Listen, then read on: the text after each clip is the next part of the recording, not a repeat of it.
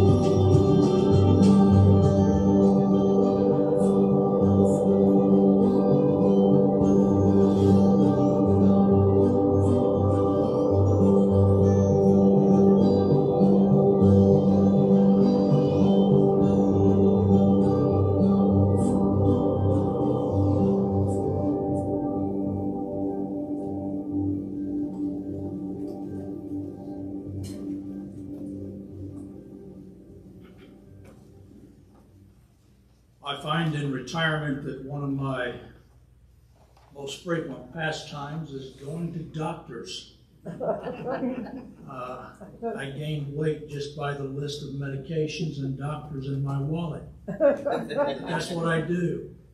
And when somebody, uh, when I tell somebody I'm free today, that means that I don't have any doctor's appointments today. so that's what we do in retirement, but they're necessary things. Uh, they always check uh, my blood, and, I have a cardiologist who checks my heart, and a neurologist lately now who checks my mind.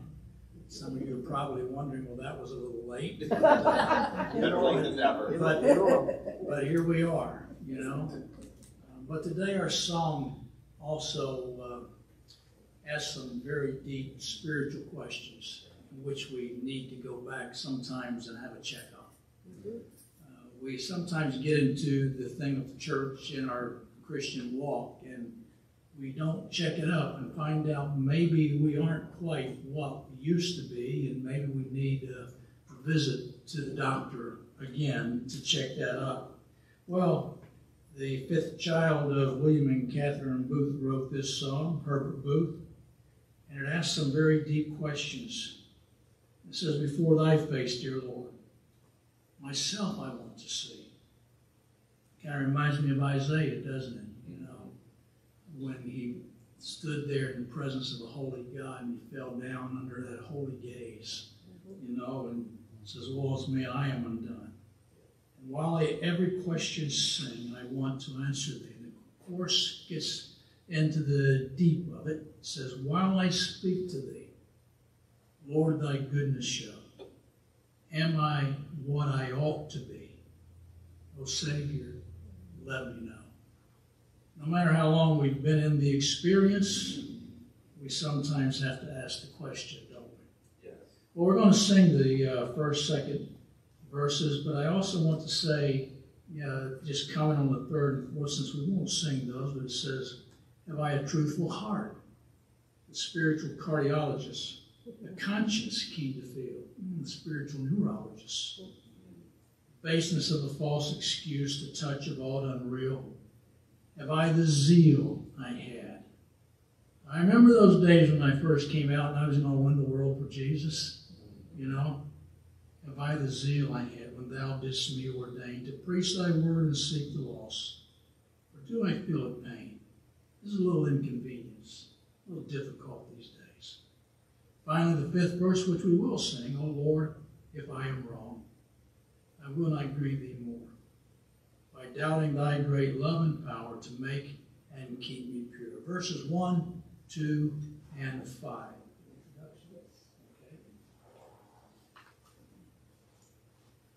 Okay.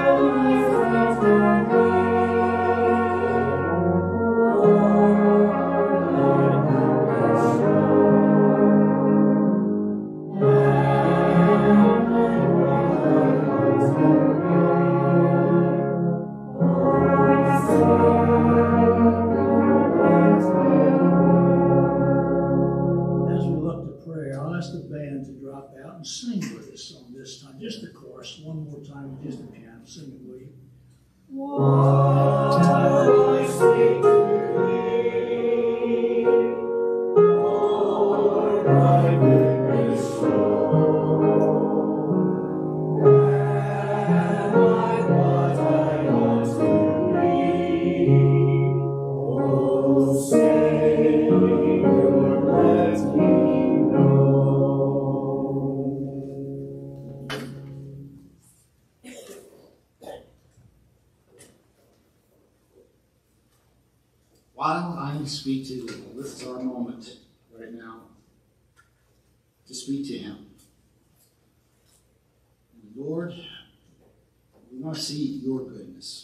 Want to see your holiness. We want to see your purity this morning.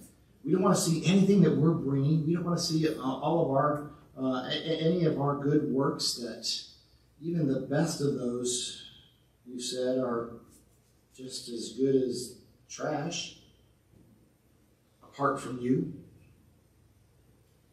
We want to see you in our lives, in our hearts, in our minds, working through our hands, speaking with our voices.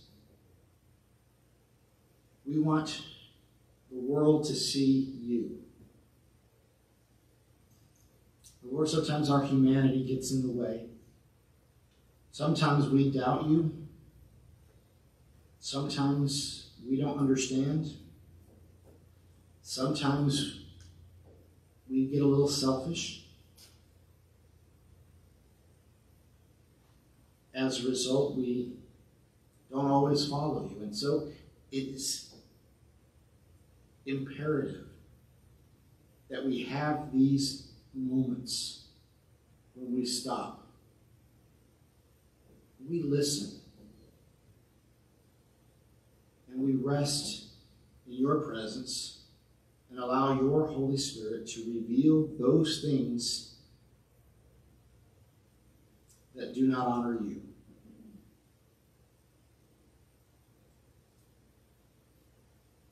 Father, we give all of that up today, at this moment, right now. We want to be so wrapped up in you that, again, the world only sees you and not us. And that we serve with your, with your love. That we reach out into a world with your compassion. That we speak your word.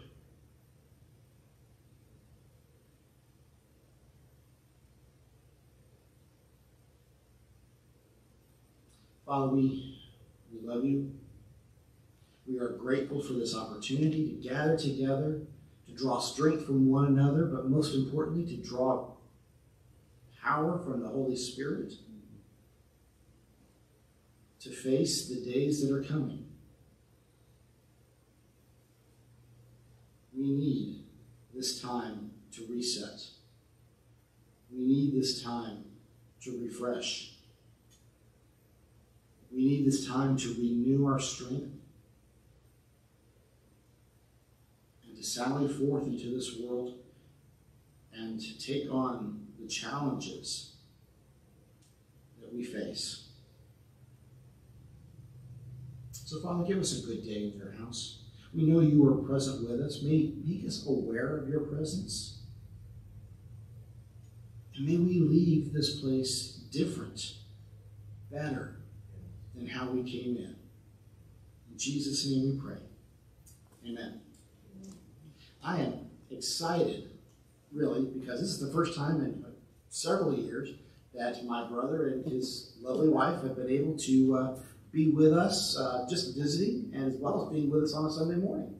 And uh, many of you already know, but for those of you that don't, uh, my brother, Major Mark Carwell, uh, uh, is with us. Um, and then there's his, again, his lovely wife who uh, brings class and civilization to the to the family.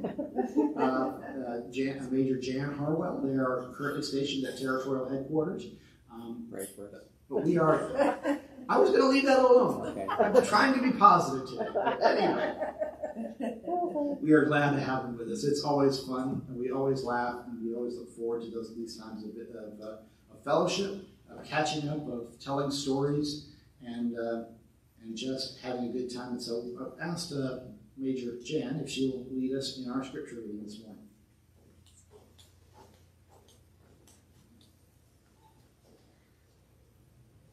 It is a joy to be with you this morning.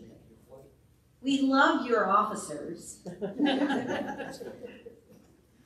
And we don't say, I don't say that just because they're family. We really do love Hank and Eunice, and we know you do as well.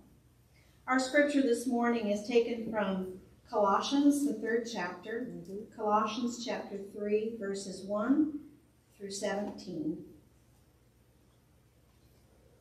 Since then you have been raised with Christ, set your hearts on things above, where Christ is seated at the right hand of God. Set your minds on things above, not on earthly things. For you died, and your life is hidden with Christ in God. When Christ, who is your life, appears, then you will also appear with him in glory. Put to death, therefore, whatever belongs to your earthly nature sexual immorality, impurity, lust, evil desires, and greed, which is idolatry. Because of these, the wrath of God is coming. You used to walk in these ways in the life you once lived, but now you must rid yourselves of all such things as these anger, rage, malice, slander, and filthy language from your lips. Do not lie to each other since you have taken off your old self with its practices and have put on the new self, which is being renewed in knowledge in the image of its Creator. Here there is no Greek or Jew, circumcised or uncircumcised, barbarian, Scythian, slave or free, but Christ is all and is in all. Therefore, as God's chosen people, holy and dearly loved, Clothe yourselves with compassion, kindness, humility, gentleness, and patience. Bear with each other and forgive whatever grievances you may have against one another. Forgive as the Lord forgave you. And over all these virtues put on love, which binds them all together in perfect unity. Let the peace of Christ rule in your hearts since as members of one body you were called to peace, and be thankful. Let the word of Christ dwell in you richly as you teach and admonish one another with all wisdom, and as you sing psalms, hymns, spiritual songs with gratitude in your hearts to God. And whatever you do, whether in word or deed, do it all in the name of the Lord Jesus giving thanks to God the Father through him. May our lives reflect the new creations we are in Christ.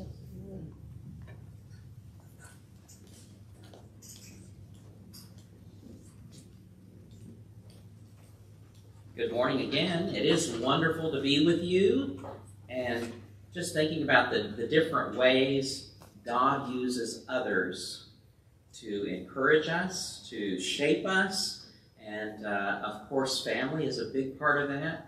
And it's great to be here with Hank and Eunice, but also some of you who have influenced us and me in particular. So blessed to have session a session mate here with us mm-hmm. and to share together officers who we served with in Texas and just have um, just been such a blessing to us uh, over the years, and others of you who have been uh, set a great standard for us and a model for us and have encouraged us uh, and myself in, uh, in our journey of service to the Lord. And so we're so grateful to be with you, uh, and uh, it's a joy. Uh, today's worship has already been so rich, hasn't it? We've got another wonderful song. I didn't know a lot about Brigadier Ruth Fanny Tracy, so I did uh, look her up, and well, she's with the Lord. I wasn't able to connect with her, but, but looked up her story, and uh, it really is a fascinating story. I won't give it to you today, but she did author uh, some hundred, uh, over a hundred songs, uh, and was there in the early days of the Army. Uh, and uh, was editor, I think, more a particular note, she was the editor of the Deliverer publication for the Army for 20 plus years. And this is just, an, again, another beautiful song, a song of earnest pleading, yearning to experience all that Christ desires to do in and through us. It's a beautiful prayer. We're going to sing all three verses if the band can can hang with us, that'd be great. I'll invite you to stand and just, uh, again, uh, this was her prayer, and uh, make it your own this morning as we sing all three verses. I think the tune will be familiar. Lord,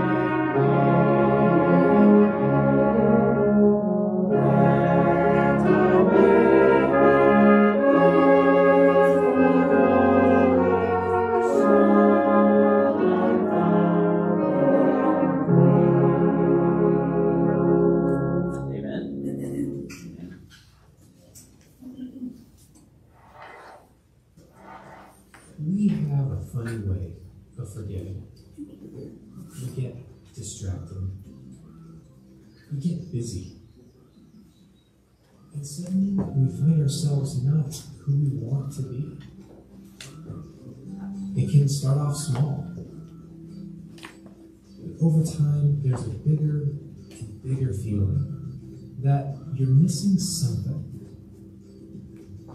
Things could be better. Simply just trying to be good or avoiding sin in your life isn't enough. Maybe sin is more about not being fully who we are in Christ. This isn't who you were meant to be. You bear a greater image.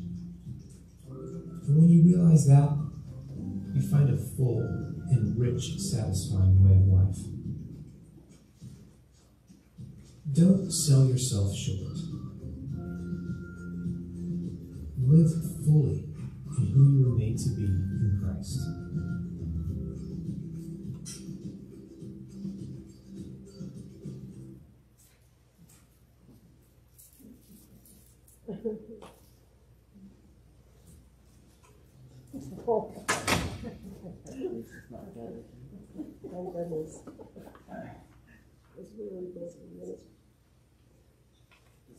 Yeah, it is. Okay. So good morning. Good morning. Um, what's happening in a couple of weeks? Anybody? Halloween. Halloween. Women's Sunday. Well, there's that too. One in set. Women's Sunday, of course, it's Women's Sunday, but it's also Halloween, of which we are not going to make any comparisons, Not are we? all. No, Okay. not at all. No, we won't.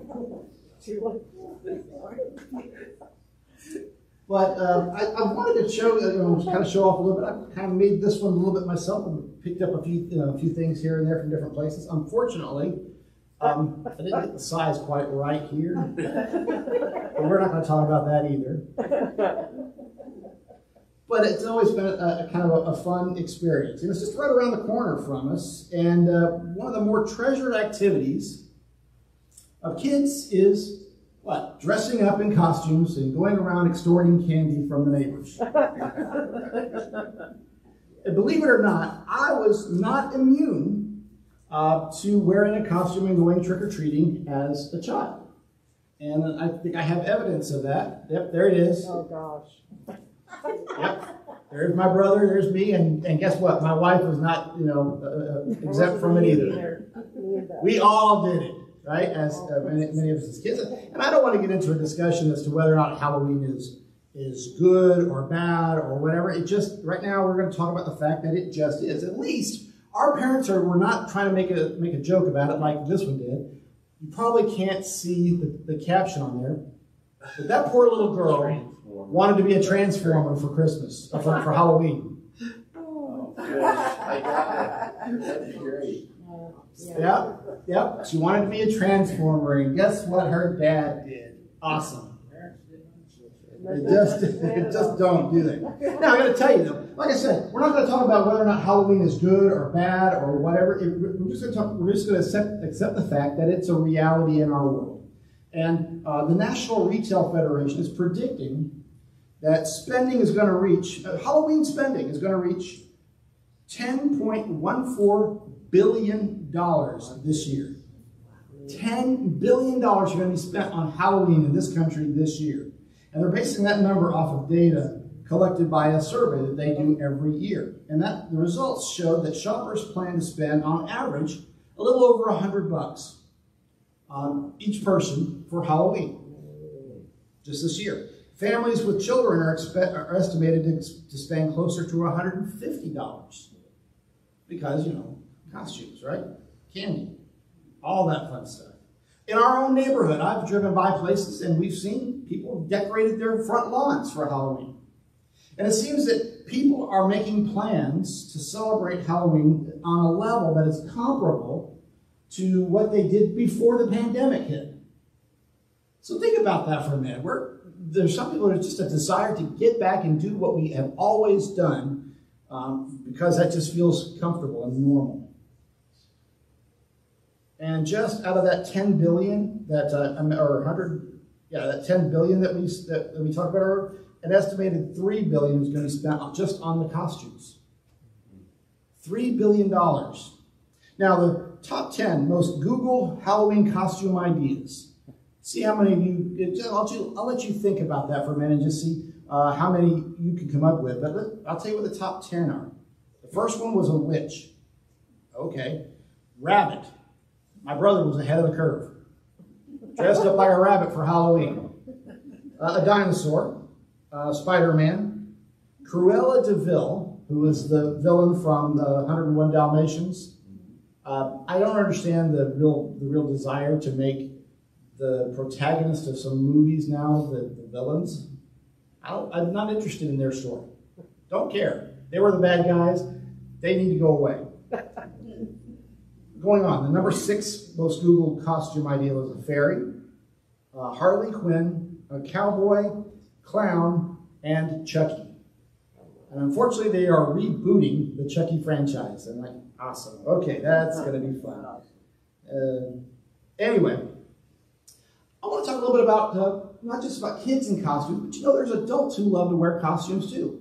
There's a, a thing that people call, that's out there called cosplay. It's a hobby. And uh, cosplay is really just a, a made up word that puts together the word costume and play. Cosplay. People get excited about wearing a costume. These folks aren't here, costumers for Christ, by the way. They will make their costumes like this, and then they go to visit kids in hospitals. I mean, that's one of the things that they do. And, and, they, and they have a ministry um, with their costumes. Um, but just in general, cosplayers, um, uh, the, um, well, let me find where I was here. It's, uh, basically, it's just, the, the idea is they, they pick a favorite character or a setting in a science fiction or, or popular culture, and they'll make the costume that fits that. Uh, there was a survey that was conducted by Cosplay Calamity in March of 2017 that says that the makers of these costumes um, have, you know, have uh, report different habits here. According to the survey, the majority of cosplayers spend only about 100 to $200 per costume. Um, but 70% of cosplayers spend an average of 100 over 100 to $600 on a costume that they make. And they make these. Um, there's another, uh, again, the same survey, as well as an article in Time Magazine. Some more advanced cosplayers report that they'll spend over $1,000 on a single costume. Okay? And they just, it's their hobby. Some people go fishing. Some people go golfing. Some people dress like, like dress up like Superman. Okay. Um, and depending on the character, some costumes can be as inexpensive as a trip to your local thrift store. Uh, matter of fact, there was a really nice uh, video on the Ministry Toolkit uh, that was done by, I guess, the Army in the Carolinas, where somebody said, "Okay, I have some um, ideas for a costume," and so they would go. They went down to the thrift store and found things that were able. They were able to put together a simple costume based on stuff they picked up out of a store. What motivates people to do this, though? What I mean, again, we get sometimes we get hobbies like fishing and golfing and stamp collecting. What motivates people to do this? I don't know if you remember this lady or not, Margaret Adams, but back in 1996, uh, she made headlines when she wore a uniform based on the, the costumes from the Star Trek The Next Generation TV series. She wore that uniform to the Whitewater trials in, uh, in, in Arkansas back in 96. Um, and made a big, and people were, you know, she stood out in the crowd and people were, were interested in her story. And uh, when she was asked, why did she wear that uniform, she says, well, I always wear my uniform on formal occasions. Now, it's interesting that she recognized the seriousness. I mean, this was a formal occasion, right? Um, and I don't believe that she was trying to mock the proceedings, but I think she incorporated something that, that she found deeply personal and, uh, and something that she loved very much and was not, not ashamed to make it public. And no one in the courtroom really ever objected to her dress. They never had a problem with it.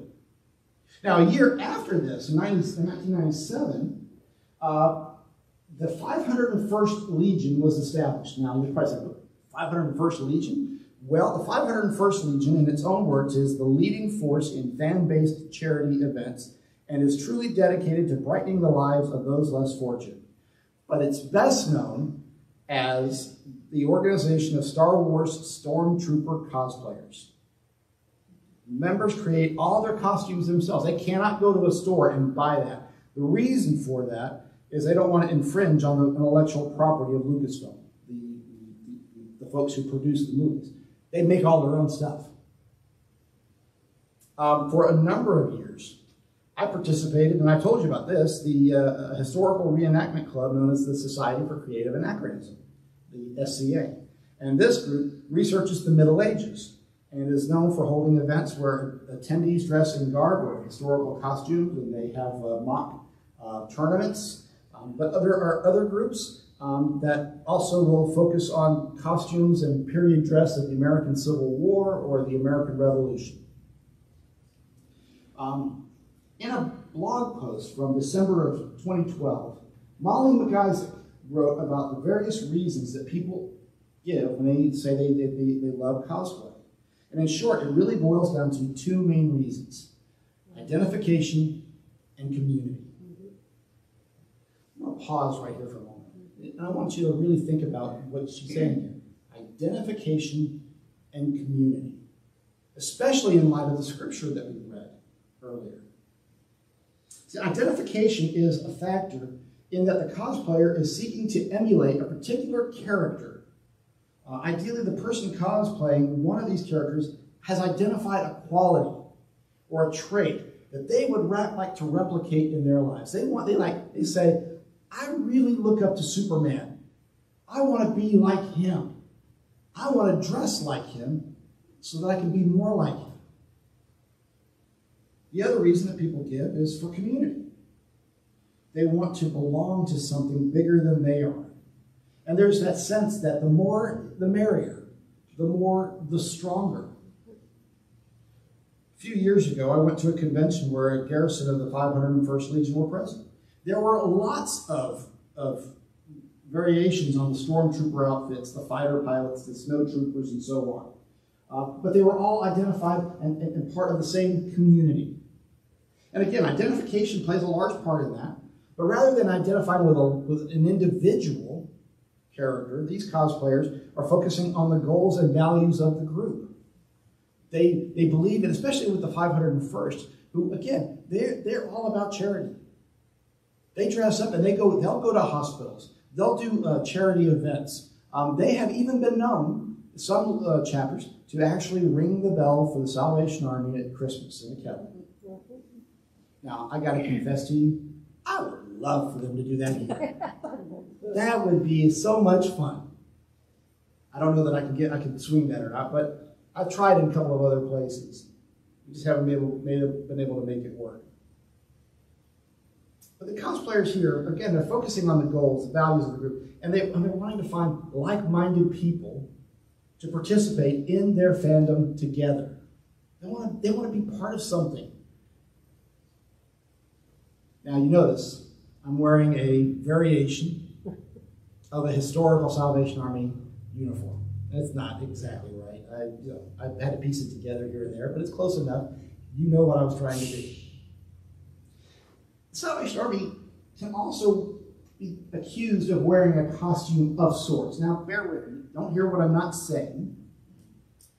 Um, the uniform performs a lot of the same functions that a cosplayer's garb does in that it identifies us as part of a group. We are part of the Salvation Army. When we, when, when we wear our uniform, people know, hey, there's something. You know, there's something different. There's something that's standing out. Um, I remember when I was in college, I worked for the Office of Media Ministries, which was a television production unit in, in Dallas. And uh, while I was there, they produced a, a, a video basically a training series of videos for the home. And we had hired some actresses to play the parts of the corps officer and the uh, and the, uh, uh, uh, the home league members, right? And uh, I think they were trying to stay away from actual Salvation Army people because they didn't want either. There was a couple of reasons. Either they weren't good at, at acting, or which is probably a good thing. They're not they're not good at acting. You want them to be real, right? Um, or the second reason is because uh, um, we, didn't want somebody to say, oh, hey, I recognize that person, and then forget and miss the whole message. So we hired these actresses. And one of the actresses got sick, really, I mean, really, she got pneumonia and was had to be hospitalized. The actress playing the corps officer decided to go visit her at the hospital on her lunch break. Rather than taking the time to change out of her uniform, her costume, to go, she just went as she was. While she was walking the halls of Parkland Hospital in, da- in, downtown Dallas, um, somebody stopped her and said, Captain, I, I really need you to pray with me. Didn't know who she was. She is not a Salvation Army officer. She was wearing, in her mind, a costume, and somebody still recognized that uniform and said, I need you to pray with me. That woman came out of that, that experience profoundly impacted by the power of the Salvation Army uniform. Um, I know a lot of times it's probably not fashionable, it's not fun, it kind of stands us out sometimes, and maybe people don't, you know, don't, don't make it, uh, and we feel uncomfortable, but man, understand, the world recognizes that uniform. Maybe not all the time, but enough that it makes a difference. So whenever you wear a uniform, man, be proud. Be proud of that. But again, we are identifying ourselves with this organization that for over 100 and what, almost 60 years now, we have stood for God's love for the world and, and his, and his uh, salvation that he offers us.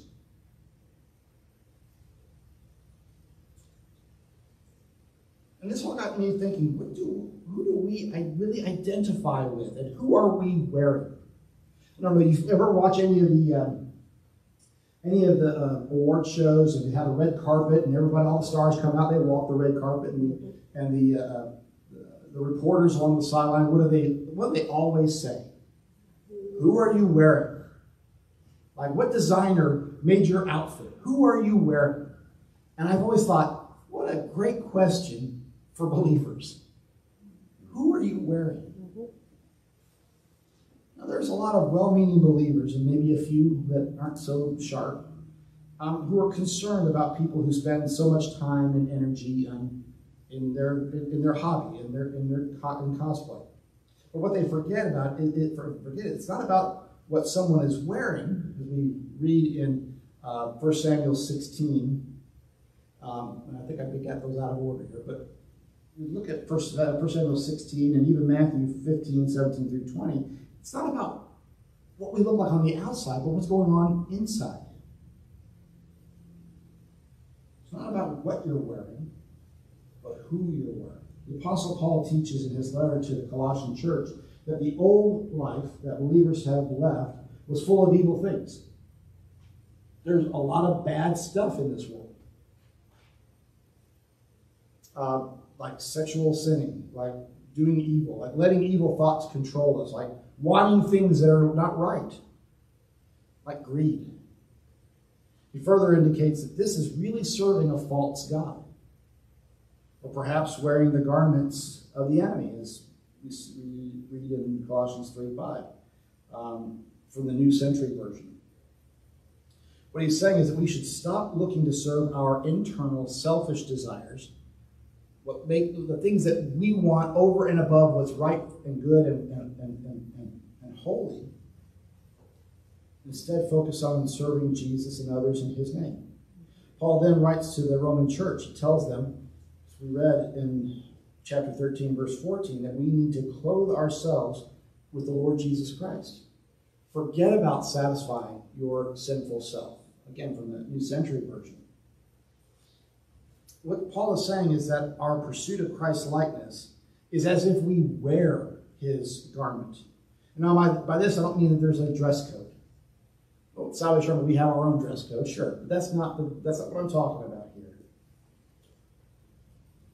I think we need to be known by how we live our lives. Elsewhere, we are encouraged um, to uh, have the same mentality, the same attitude of, of Jesus by placing the needs of others ahead of our own, by living in humble obedience to God.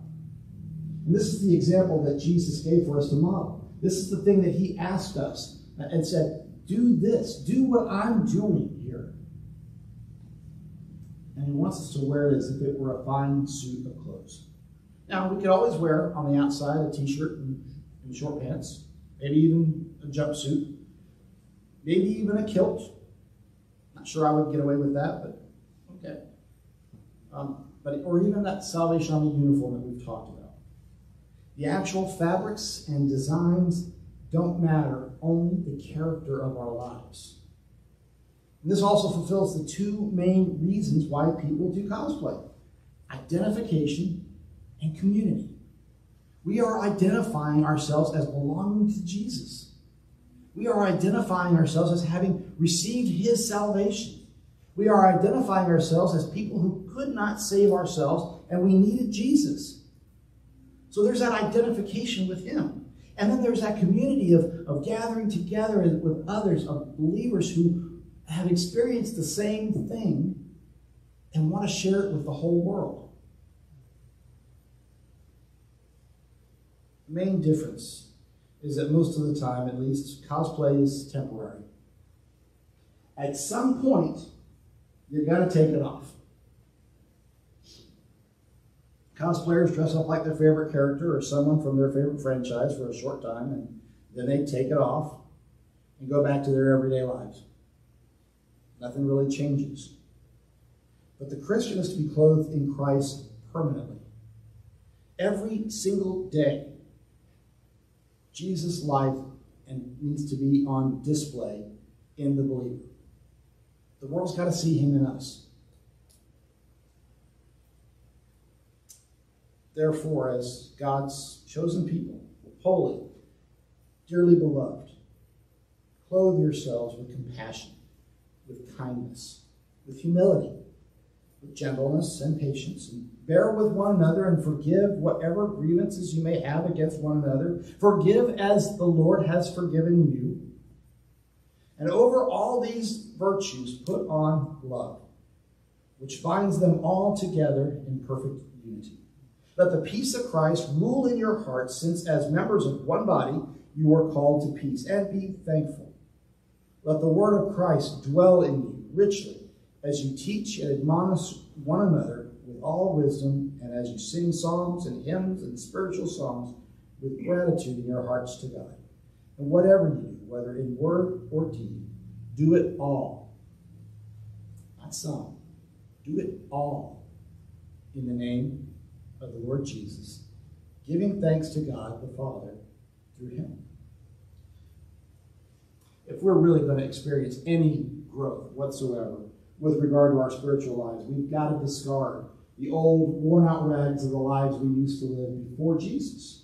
Lives that were marked by, the, by garments of anger and bad temper, doing or saying things to hurt others, using evil words when we talk, lying about lying to and about one another. Instead, we need to put on his clothes of compassion, of kindness, of humility, of gentleness and patience.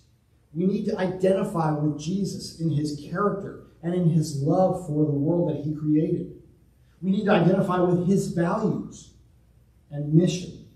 And we need to become a community of like minded individuals following his lead, supporting one another. And this is going to require a radical transformation of our minds and of our hearts to lead us away from our selfish motives. We can't do it on our own. If we try to do it on our own, we're just putting on a costume. We've got to be transformed. We've got to be changed by Him. As we probably know, that kind of transformation just, again, doesn't happen on, a, on our own, by ourselves, by the sheer force of our will.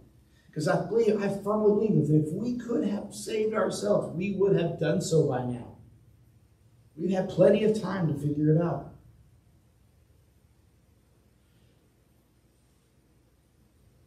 We cannot do it on our own. The only way to be clothed with the characteristics of Jesus' life, the only way to, to, to, to, to reveal him to the world through us is to be changed by his Holy Spirit. And I'm convinced that that can happen today. You don't have to wait until you've uh, gotten a new set of a new set of clothes to wear. You don't have to wait until you you know clean up a little bit here and there. You don't have to wait until um, you know the first of the month. Um, you don't have to wait till your birthday. You can do it today. Jesus can change you right here, right now. He can help you put on these clothes of compassion and kindness and gentleness and peace. Clothes that, that mark us as His people. And all it takes on your part, really, is just as we uh, prepare for our, our, our, our time of prayer together, just uh, getting up from where you're at coming to this place of prayer. Again, you can't you know, you can stand and someone will pray with you. That's fine. But we invite you to come and, and just allow Him to take the old garments that you used to wear and change them out for His. We're going to sing uh, that chorus that's listed, uh, we'll be putting on the screen here. Um, let the beauty of Jesus be seen in me. And that's really what prayer is, isn't it? We want the world to see Jesus in us, through us. We want Him to hear, we want the world to hear Him through us. We want the world to witness His love acted out through our hands. And so as we uh, sing together this chorus, I give you that opportunity to come to this place of prayer, to exchange the, the garments that you used to wear for something new. And then give you the challenge. Because when we leave this place, we're going to face a world that is not in favor of, uh, of Jesus. So I'm going to invite you to suit up when that, uh, once, once we conclude. Let's sing together that chorus.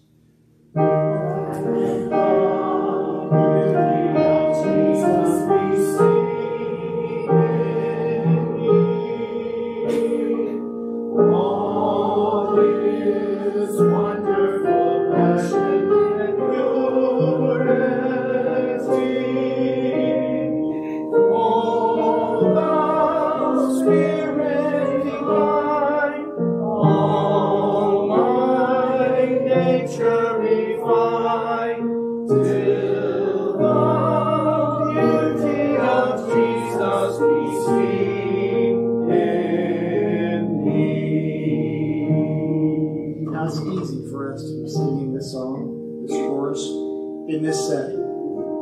It's easy for us to, to pray that the Lord's uh, beauty, that His graciousness, that His love, and His, His compassion, His mercy would be seen in us here. But Monday's coming. And I don't know but the, about you, but there have been days that I've described as the Monday Tuesday I've ever had.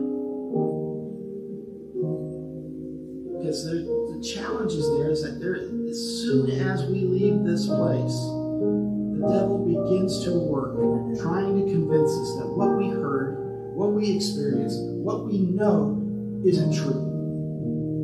And he'll do that through circumstances, he'll do that through people. And it is in the Monday through Saturday that we need the beauty of Jesus to be seen in us. Not just on Sunday when we're all dressed in our finery and look good.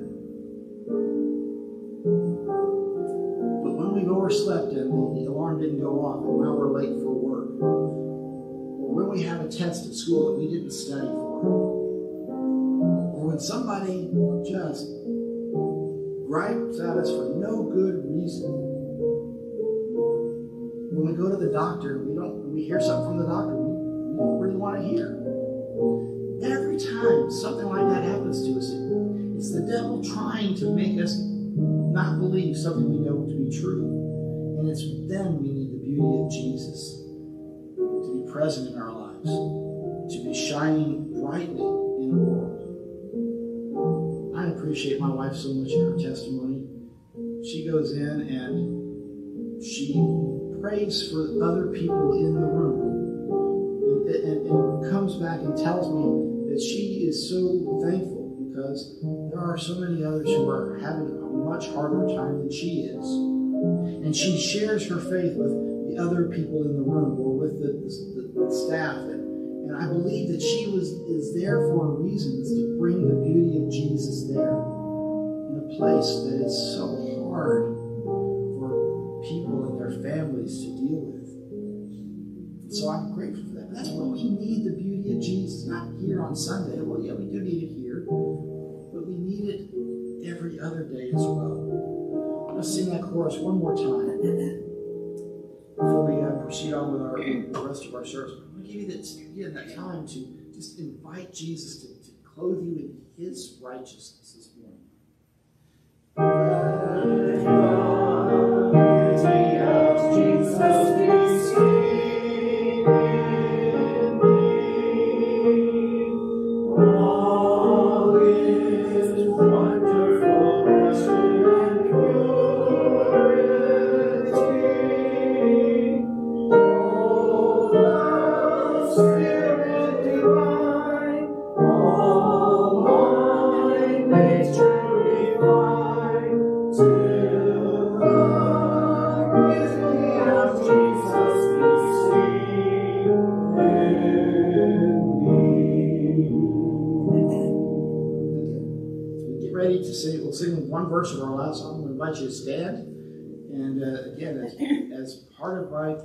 Uh, challenge to you, suit up this week.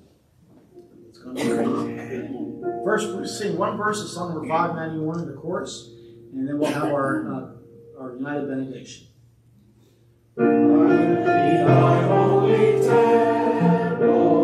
Sacred and